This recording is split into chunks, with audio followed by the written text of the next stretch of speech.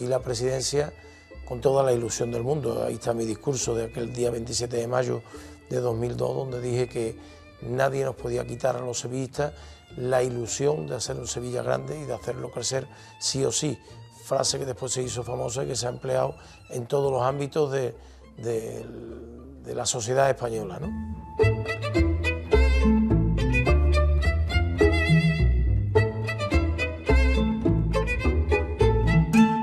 El sí o sí es una frase suya, ¿no? Sí o sí, y después te da a elegir. Pues mire, yo en mano que esa pregunta me la hicierais alguno de ustedes cuando dije Eindhoven sí o sí, Glasgow sí o sí, ganaremos la Copa al Getafe sí o sí, eh, David vencerá a Goliat, entonces no me lo preguntó nadie. Eh, yo siempre lanzo frases arriesgadas porque el que arriesga es el único que puede ganar. El jugador cumplirá su contrato sí o sí. Le vamos a dar a elegir, no le quepa la menor duda.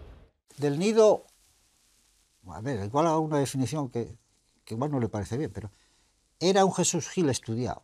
Y por eso yo creo que era un, un hooligan, en el buen sentido de la palabra, con corbata. Mostrar todo mi respeto hacia el Atleti y hacia sus jugadores y hacia toda su plantilla.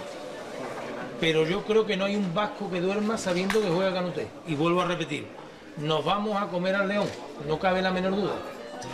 Desde la melena a la cola.